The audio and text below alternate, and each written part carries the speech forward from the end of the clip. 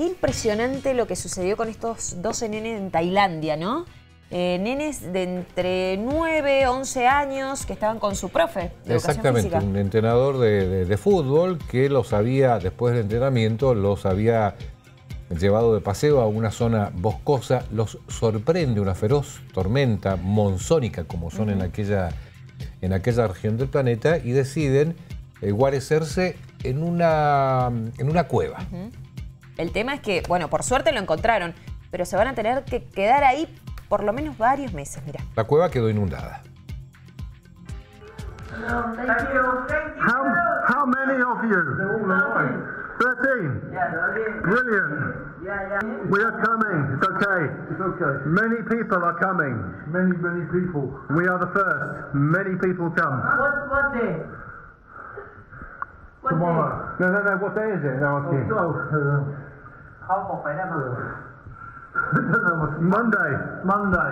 Okay, but one week and Monday. You have been here ten days. Ten days. You are very strong. Very strong.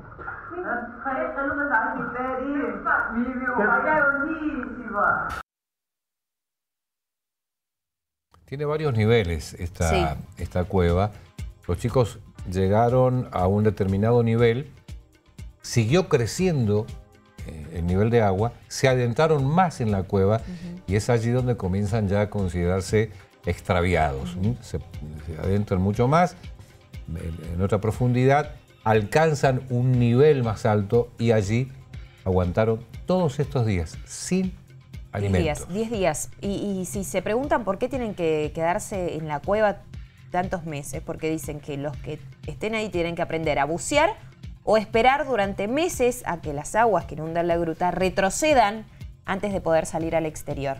Pero para llegar hasta ese lugar tuvieron que entrar buzos. Claro. Eh, hubo colaboración de parte de Italia, de España, de Alemania, de Estados Unidos, de Japón, de China.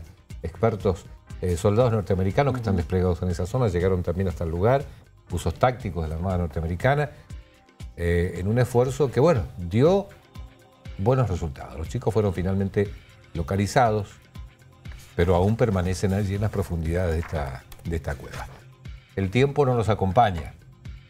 Hubo un parate en las lluvias y allí fue cuando los buzos pudieron ingresar eh, mediante los equipos especializados hasta esas profundidades. Pero hubo que emplear bombas de desagote. Sí, van a tener que seguir trabajando, Ricardo, porque era muy, muy difícil llegar hasta ese lugar. Bueno, estamos viendo cómo incluso trabajaban por la, por la zona, ¿no? son este tipo de situaciones que mantienen en vilo a todo un país. Sin dudas. Mm.